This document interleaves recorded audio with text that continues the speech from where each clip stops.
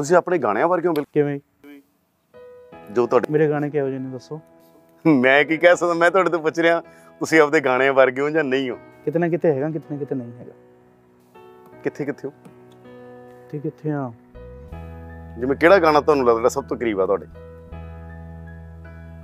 Legend legend ਗਾਣਾ। ਜੱਗਾਂ ਵਿੱਚ ਇਹ ਜੇ ਆਉਂਦੀ ਮਿੱਠੀਏ ਤੇ ਲਾਈ ਜੜਾ ਚ ਆਉਂਦਾ ਤੇਰਾ ਇੱਕ ਗਾਣਾ। ਆ ਟਿੱਬਿਆਂ ਦਾ ਪੁੱਤ। ਹੂੰ ਕੋਈ ਵੱਡੇ ਖਾਸ ਘਰਾਣੇ ਨਹੀਂ। ਨਿਕਲੇ ਆ ਪਿੰਡਾਂ ਵਸਤੇ ਮੇਰੀ ਆਪਣੀ ਦਾ ਕੋਈ ਹਸਤੀ ਨਹੀਂ ਮੇਰਾ ਖੌਫ ਦਿਖੇਂਦਾ ਹਸਤੀਆਂ ਚ।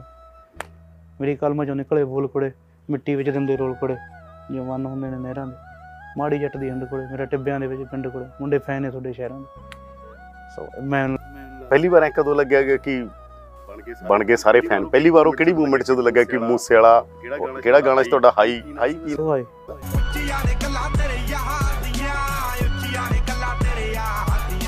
ਸੋ ਹਾਈ ਉਹ ਗਾਣੇ ਤੋਂ ਲੱਗਿਆ ਸੀ? ਜਾਂ ਉਦੋਂ ਪਹਿਲਾਂ ਮੈਨੂੰ ਤਾਂ ਹਾਲੇ ਤੱਕ ਨਹੀਂ ਲੱਗ ਰਿਹਾ ਜੀ। ਮੈਂ ਤਾਂ ਜ਼ਿੰਦਗੀ ਇੰਨੀ ਤੇਜ਼ ਗਈ ਮੈਨੂੰ ਕੁਝ ਪਤਾ ਹੀ ਨਹੀਂ ਲੱਗਿਆ। ਮੈਂ ਕਦੇ ਕਦੇ ਦੇਖਦਾ ਹੁੰਦਾ ਜਿਹੜੇ ਨਵੇਂ ਕਲਾਕਾਰ ਨੇ। ਉਹ ਫੋਟੋਆਂ ਫਾਟੋਆਂ ਜੀਆਂ ਪਾਉਂਦੇ ਨੇ ਇਕੱਠੇ ਕਰਕੇ ਫੈਨਾਂ ਨੂੰ। ਫੋਟੋ ਹੀ ਵੈਸੇ ਤਾਂ ਕਦੇ ਧਿਆਨ ਨਹੀਂ ਦਿੱਤਾ ਇਸ ਚੀਜ਼ ਤੇ। ਸ਼ੋਅ ਲਾਈਦਾ ਹੀ ਨਿਕਲ ਜਾਈਦਾ ਸ਼ੋਅ ਲਾਈਦਾ ਹੀ ਨਿਕਲ ਜਾਈ ਕੰਮ ਕਰੀਦਾ।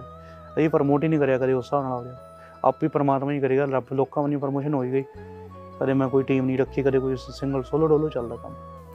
ਦਿਮਾਗ ਨੂੰ ਸ਼ੌਹਰਤ ਚੜੀ ਗਈ ਤੁਹਾਨੂੰ ਨਹੀਂ ਮੈਂ ਤੁਹਾਡੇ ਤੋਂ ਨਹੀਂ ਨਹੀਂ ਚੜੀ ਹਰ ਗੱਲ ਮੈਥੀ ਪੁੱਛੀ ਜਾਓਗੇ ਫਿਰ ਤੁਸੀਂ ਇੱਧਰ ਆ ਜਾਓ। ਨਹੀਂ ਨਹੀਂ। ਤੁਸੀਂ ਮੈਥੋਂ ਪੁੱਛਣਾ ਸ਼ੁਰੂ ਕਰੋ ਮੈਂ ਇੰਟਰਵਿਊ ਦਿੰਨਾ। ਵਧੀਆ ਚੱਲੋ ਇੰਟਰਵਿਊ ਵੀ ਤੁਸੀਂ ਕਰੋਗੇ ਮੈਂ ਜਵਾਬ ਦੇਵਾਂਗਾ ਕੋਈ ਮਸਲਾ ਨਹੀਂ। ਤੁਸੀਂ ਲੈ ਸਕਦੇ ਮੇਰਾ ਇੰਟਰਵਿਊ ਕੋਈ ਇਸ਼ੂ ਨਹੀਂ ਪਰ ਤੁਹਾਨੂੰ ਇੱਧਰ ਮੈਂ ਇੰਨਾ ਜੇ ਕਾਬਿਲ ਨਹੀਂ ਹੋਇਆ। ਕਦੇ ਕਦੇ ਲੱਗਾ, ਆਪਦੇ ਆਪ ਨੂੰ ਲੱਗਿਆ ਕਦੇ ਯਾਰ ਦਿਮਾਗ ਨੂੰ ਸ਼ੌਹਰਤ ਚੜ ਗਈ, ਕਦੇ ਬਾਅਦ ਚੋਂ ਮਹਿਸੂਸ ਹੋਇਆ ਹੋਵੇ। ਕਦੇ ਵੀ ਨਹੀਂ। ਸ਼ੌਹਰਤ ਚੜੀ ਹੁੰਦੀ ਤਾਂ ਮੈਂ ਇੱਥੇ ਨਾ ਤੁਰਿਆ ਫਿਰਦਾ ਸੀ, ਹਨਾ? ਸ਼ੌਹਰਤ ਮੇਰਾ ਸਭ ਤੋਂ ਜ਼ਿਆਦਾ ਪਿਆਰ ਮੇਰੇ ਕਾਮਿਆਂ ਨਾਲ, ਚਾਹੇ ਉਹ ਘਰ 'ਚ ਕੰਮ ਕਰਨ ਵਾਲੇ ਨੇ ਚਾਹੇ ਖੇਤ 'ਚ ਕੰਮ ਕਰਨ ਵਾਲੇ। ਨੇ ਸੋ ਮੈਨੂੰ ਕੋਈ ਇੰਨਾ, ਕੋਈ ਜ਼ਿਆਦਾ ਫ਼ਰਕ ਨਹੀਂ ਪਿਆ ਉਸ ਚੀਜ਼ ਨਾਲ। ਮੈਂ ਕਿੰਨਾ ਕੁ ਮਸ਼ਹੂਰ ਹਾਂ, ਹਨਾ? ਮੈਂ ਪਿੰਡ ਚੱਪਲਾਂ 'ਚ ਤੁਰਿਆ ਫਿਰਦਾ ਹੁਣ ਲੋਕ ਮੈਨੂੰ ਕਹਿੰਦੇ ਨੇ, ਉਹ ਦੂਜੇ ਆਰਟਿਸਟ ਮੈਂ, ਪਤਾ ਕੀ, ਮੈਨੂੰ ਹਾਲੇ ਤੱਕ ਨਹੀਂ ਮਹਿਸੂਸ ਹੋਇਆ। ਉਹ ਜਦੋਂ ਨਵੇਂ ਮੈਂ ਬੰਦੇ ਮੁੰਡੇ ਨੂੰ ਦੇਖਦਾ ਜਿਹੜੇ ਨਵੇਂ ਆਏ ਨੇ ਹੁਣ ਕੋਈ ਕੰਮ ਕਰਦੇ ਨੇ। ਰੇਟ ਹੀ ਬਹੁਤ ਆ ਜਾਣੀ ਹੈ ਸਿਸਟਮ ਵੀ। ਮੈਂ ਕਹਿੰਦਾ ਯਾਰ ਆਪਾਂ ਤਾਂ ਕਦੇ ਨਹੀਂ ਕਰਿਆ ਇਹ ਜਿਹਾ ਕੁਝ ਹਨਾ। ਇਹ ਵਾਰ ਦੇਖ ਰਹੇ ਨਵੇਂ ਮੁੰਡੇ ਚਲੋ ਯੰਗ ਨੇ ਉਹਨਾਂ ਨੂੰ ਸ਼ੌਂਕ ਉਸ ਚੀਜ਼ ਦਾ ਹੋ ਸਕਦਾ ਉਹ ਸਹੀ ਵੀ ਹੋਣ। ਪਰ ਵੀ ਮੈਂ ਆਪਾਂ ਕਦੇ ਕੋਈ ਚੋਜੇ ਕਰੇ ਨਹੀਂ ਅਜੇ ਤੱਕ। ਵੀ ਆਪ ਦਾ ਕੰਮ ਧੰਦਾ ਜਾਂ ਕਰੀ ਜਾਂਦੇ ਆ, ਬਸ ਠੀਕ ਹੈ। ਉਹ ਪ੍ਰੋਫੈਸ਼ਨਲ ਹੈ ਆ ਪਿੰਡੂ ਲਾਈਫ ਹੈ। ਜਾਂ ਜ਼ਿੰਦਗੀ ਦਾ ਆਨੰਦ ਲੈ ਰਹੇ ਹਾਂ ਅਸਲ ਬੇਸਿਕ ਬੇਸਿਕ ਸ਼ਬਦਾਂ ਤੁਸੀਂ ਇੰਨਾ ਇਸ਼ਕ ਹਥਿਆਰਾਂ ਨਾਲ ਜਾਂ ਵੈਸੇ ਗਾ ਦਿੰਦੇ ਹੋਗੇ? ਮੈਨੂੰ ਵਧੀਆ ਲੱਗਦੇ ਵੈਪਨਸ ਕਿੰਨੇ ਵੈਪਨ ਆ ਤੁਹਾਡੇ ਕੋਲ ਆਪਦੇ ਕੋਲ? ਲਾਇਸੈਂਸ ਹੀ ਦੋ ਹੀ ਹੋਰ ਰੱਖ ਸਕਦੇ ਹਾਂ ਦੋ ਹੀ ਹੈ ਮੇਰੇ ਕੋਲ।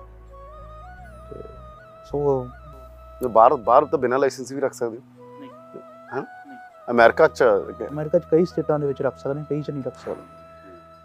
ਤੇ ਮੈਨੂੰ ਉਹਦਾ ਸ਼ੌਂਕ ਆ ਉਸ ਚੀਜ਼ ਦਾ ਉਹ ਕੋਈ ਇਹ ਨਹੀਂ ਵੀ ਕੋਈ ਗੁੰਡਾਗਰਦੀ ਕਰਦੇ ਆ ਅਸਲ ਨੂੰ।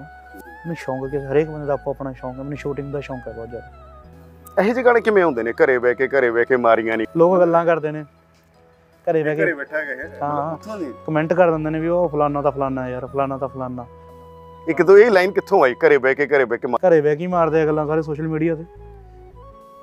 ਵੀ ਜਾਨੀ ਤੁਸੀਂ ਕਿਹਾ ਮੈਂ ਘਰੇ ਬਹਿ ਕੇ ਗੱਲਾਂ ਮਾਰਨ ਵਾਲਾ ਨਹੀਂ ਹੈਗਾ। ਵੀ ਕੰਮ ਕਰਿਆ ਆਪਦਾ ਨਾਮ ਬਣਾਇਆ ਮਿਹਨਤ ਨਾਲ ਬਣਾਇਆ। ਮੈਂ ਘਰੇ ਬਹਿ ਕੇ ਕੋਈ ਸੋਸ਼ਲ ਮੀਡੀਆ ਤੇ ਉਂਗਲਾਂ ਮਾਰ ਕੇ ਥੋੜੀ ਬਣਿਆ। ਆਪਣੀ ਮਿਹਨਤ ਕਰੀ ਹੈ ਹਾਰਡ ਵਰਕਰ ਹੈ ਮੈਂ ਕੱਲਾ ਕੱਲਾ ਜਵਾਬ ਸੀ ਕਰਦਾ ਮੈਨੂੰ ਮੈਂ ਘਰਦਿਆਂ ਨੂੰ ਕਹਿ ਸਕਦਾ ਸੀ ਕਿ ਮੈਂ ਕੱਲਾ ਕੱਲਾ ਮੈਂ ਉੱਥੇ ਕੀ ਜਾਉਂ ਮੇਰੀ ਕੋਈ ਰਿਸ਼ਤੇਦਾਰੀ ਨਹੀਂ ਨਾ ਮੈਨੂੰ ਉੱਥੇ ਕੋਈ ਜਾਣਦਾ। ਪਰ ਆਪਣੀ ਮਿਹਨਤ ਕੀਤੀ ਹੈ ਆਪਦੇ ਵਾਸਤੇ ਫਿਰ ਬਣਿਆ ਆਪਦੇ ਆਪ ਨੂੰ। ਹੁਣ ਲੋਕਾਂ ਦੀ ਗੱਲ ਕਰ ਰਹੇ ਹਾਂ ਵੀ ਕਾਬਿਲ ਕਰੋ ਆਪਦੇ ਆਪ ਨੂੰ ਬੋਲਣ ਨਾਲ ਕੀ ਹੋ ਜਾਣਾ? ਇਹੀ ਗੱਲ ਰਾਜਨੀਤੀ 'ਚ ਹੈ। ਜਿਹੜਾ ਬੰਦਾ ਰਾਜਨੀਤੀ 'ਚ ਆਉਂਦਾ ਤੁਸੀਂ ਉਹਨੂੰ ਗਦਾਰ ਸਾਰੇ ਟੈਗ ਦੇ ਸਕਦੇ ਹੋ। ਪਰ ਤੁਸੀਂ ਆਪ ਹਿੰਮਤ ਨਹੀਂ ਕਰਦੇ ਸਿਸਟਮ ਨੂੰ ਗਾਲਾਂ ਕੱਢ ਸਕਦੇ ਹਿੰਮਤ ਕਰੋ। ਇਹ ਚੀਜ਼ ਹੈ। ਕਹਿੰਦੇ ਪੋਲੀਟੀਕਲ ਬੰਦੇ ਦੀ ਜ਼ਿੰਦਗੀ 'ਚ ਦੋ ਪੀ ਜਿਹਦੇ ਚ ਆ ਜਾਣ ਬੜਾ ਇੰਪੋਰਟੈਂਟ ਬੰਦਾ ਬਣ। ਪਹਿਲਾ ਪੀ ਤਾਂ ਪੈਸ਼ਨ ਹੁੰਦਾ। ਜਦੋਂ ਪੈਸ਼ਨ ਹੁੰਦਾ ਦੂਜਾ ਪੀ ਹੁੰਦਾ ਪੇਸ਼ੈਂਸ ਜਦੋਂ ਪੈਸ਼ਨ ਹੁੰਦਾ ਉਦੋਂ ਪੇਸ਼ੈਂਸ ਨਹੀਂ ਹੁੰਦਾ ਜਦੋਂ ਪੇਸ਼ੈਂਸ ਹੁੰਦਾ ਪੈਸ਼ਨ ਨਹੀਂ ਹੁੰਦਾ। ਇਹ ਦੂਜਾ ਪੀ ਆ ਜਾਊਗਾ ਤੁਹਾਡੇ? ਪੇਸ਼ੈਂਸ ਹਾਂ ਆ ਜਾਊਗਾ। ਹੁਣ ਲਿਆਉਣਾ ਬੜਾ ਜ਼ਰੂਰੀ ਹੋਣਾ ਰਾਜਨੀਤੀ ਹੌਲੀ ਹੌਲੀ ਆਊਗਾ। ਹੂੰ। ਕੁਛ ਨਾ ਕੁਛ ਤਾਂ ਪੈਸ਼ਨ ਹੈ ਪੇਸ਼ੈਂਸ ਹੈਗੀ ਹੈ ਪਰ ਮੈਨੂੰ ਲੱਗਦਾ ਹੋਰ ਲੋੜ ਹੈ। ਤੇ ਉਹ ਆ ਜਾਊਗੇ ਟਾਈਮ ਨਾਲ ਆਉਂਦੀ ਆ ਉਹ ਉਮਰ ਨਾਲ ਆਉਂਦੀ ਹੈ। ਹਨਾ? ਇਹ ਥੋੜੇ ਯੰਗ ਆ ਮੈਨੂੰ ਲੱਗਦਾ ਤੇ ਹੌਲੀ ਹੌਲੀ ਪੈਦਾ ਕਰ ਰਹੇ ਹਾਂ ਉਸ ਚੀਜ਼ ਨੂੰ। ਬਿਲਟ ਕਰ ਰਹੇ ਹਾਂ ਆਪਣੇ ਆਪ ਦੇ ਵਿੱਚ। ਜੀ। ਥੈਂਕ ਯੂ ਬਾਈ ਜੀ ਧੰਨਵਾਦ। ਗੱਲ ਬਹੁਤ ਬਹੁਤ ਧੰਨਵਾਦ।